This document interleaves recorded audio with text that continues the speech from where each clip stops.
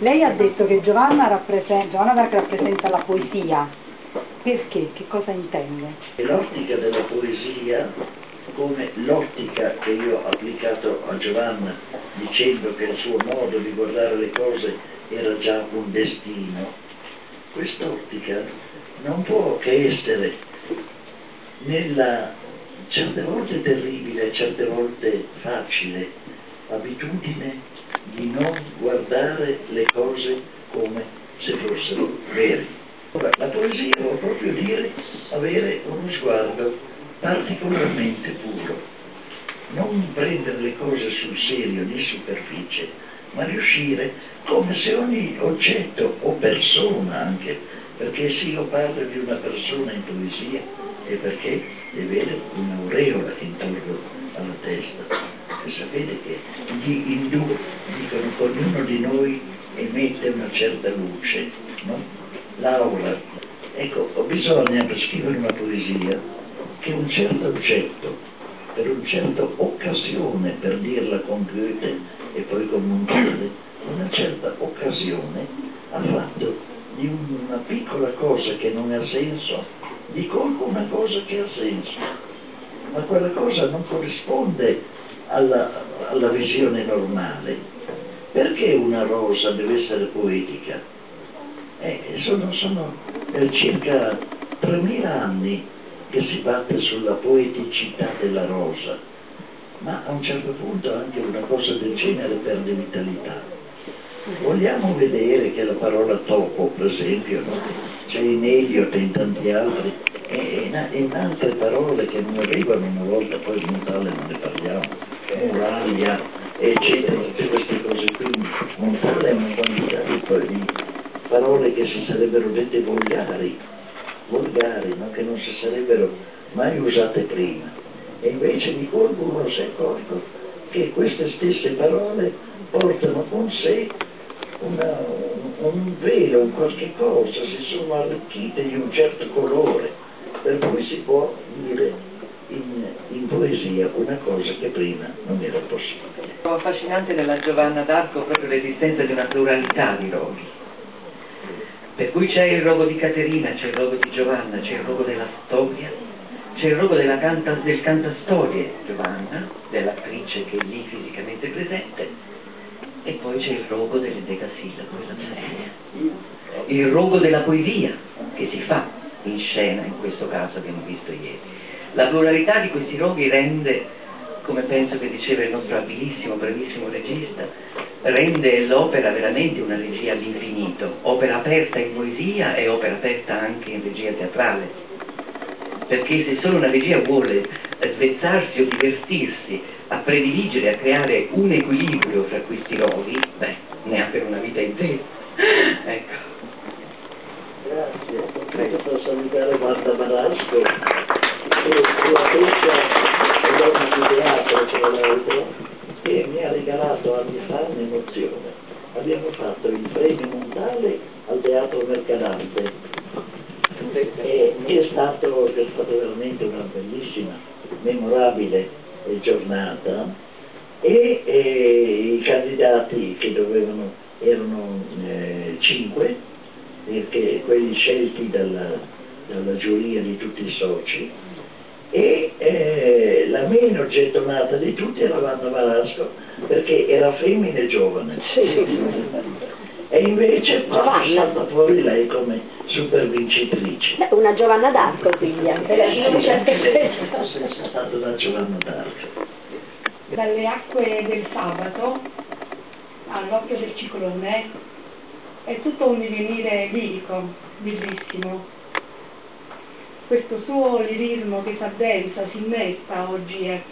alla poetica moderna, ecco, le chiedevo anche della sapienza del, del sentimento, la sapienza del sentimento, del cuore, come oggi lei la innesta nella poetica contemporanea postmoderna, ce ne sono tracce?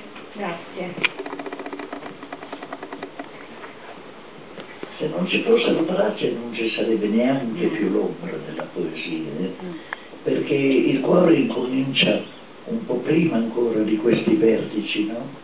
comincia anche nella letteratura diciamo ingenua, popolare, vorrei dire comincia dalle cartoline dei soldati, no? perché lì già eh, funzionano i sentimenti, no? è chiaro che nelle cartoline dei soldati, nella letteratura femminile, come si diceva una volta, nei romanzi rosa, no? e poi anche in quello che scrivono gli uomini a un certo livello non molto alto, il sentimento c'è, c'è come c'è in pittura, come c'è nelle canzonette. Can... In poesia forse la domanda ha molto senso perché recentemente si sente un impoverimento eh, della, della, sensibilità, prendiamo quella amorosa che è quella più visibile, diciamo, no? quella più... La poesia d'amore è rarissima oggi, è molto molto rara, come sta storia, mentre prima veniva in primo piano, no? Pensando a un poeta si pensava a un poeta d'amore, un poeta canta l'amore, canta il primo amore, canta la sua donna, canta la, il magnificare la sua donna Dante Petrarca e tutti gli altri dopo, Leopardi, eccetera, eccetera. E oggi questo si sente poco. E questo è veramente un, un grande impoverimento che io considero provvisorio, passeggero dello stato delle nostre lettere, no? perché se così fosse sarebbe un disastro. La colpa è in grandissima parte eh, delle distrazioni favolose che hanno travolto l'uomo negli ultimi 40 anni. Pensiamo alla televisione, per esempio, no? tutto il tempo che noi diamo alla televisione. Adesso poi è arrivato il diavolone massimo che è internet, tutte queste cose, Facebook, no? si perde il tempo.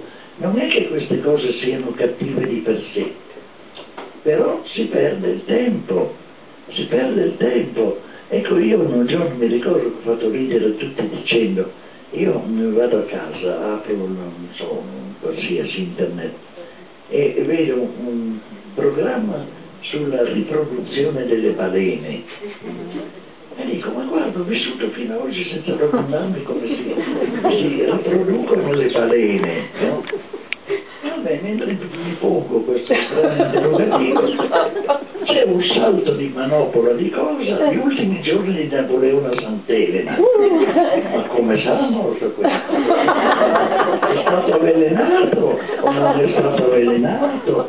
Eccetera, eccetera, eccetera. Dopodiché è stato di nuovo un altro argomento, eh? le, le, eh, le grandi amanti del Re Sole, ma quante erano? Ma questo devo andare, ma oppure no? Insomma, dopo verso le, e rientrata a casa alle tre e mezza, mi accorgo che sono le sette quasi, la mia giornata se ne andava, senza concludere niente.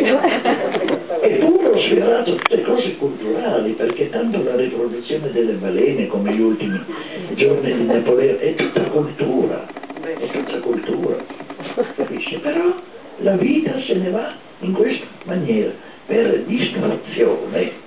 Senza l'opera. Senza, senza l'opera, senza neanche abbeverarsi a una cosa che ti può poi dopo dare altro sangue per l'opera. Ci sono, c'è un verso di Rimbaud che io continuo a considerare, considerare il più grande poeta di quell'epoca proprio, che dice Par délicatesse j'ai perdu ma vie. Che è una, di una profondità spaventosa quel verso, per delicatezza, eh, per distrazione, eh, perché mi faceva piacere, perché mi arricchiva in qualche maniera, voglio sapere come si riproducono le balene, queste cose, no? E quindi si, si, perde, si perde il tempo. E, e, allora non si va mai in profondità in niente. Allora anche l'amore diventa erotismo. Oh, l'erotismo è una cosa seria, non è mica da prendere riderci sopra, eh? è una delle più grandi arti del mondo, è un modo per conoscere la natura, valersi della natura, fare dell'arte sulla natura, per così dire. Però se io mi occupo di erotismo senza ricordarmi che cos'è l'amore, allora diventa una, una cosa che non ha nessun significato profondo. E, e invece oggi la poesia sta in un limbo, in un limbo parla molto di altre cose, ma mai di quelle profonde. eh. Io nel, nel mio libro, no, non tale la voi, dove ho messo in esergo al principio, come ho messo un motto della, una frase della Yursenar, Lega, la Lega lei che non voglio occhiali. E io me li devo levare.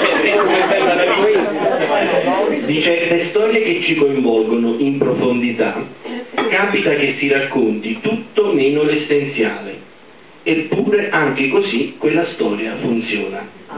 Ecco, sempre quello, crediamo di sapere tutto, siamo coltissimi, abbiamo letto tutto, però eh, abbiamo perso il centro.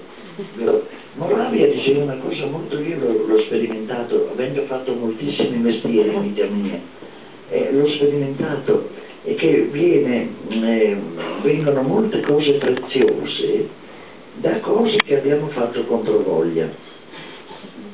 Contro voglia.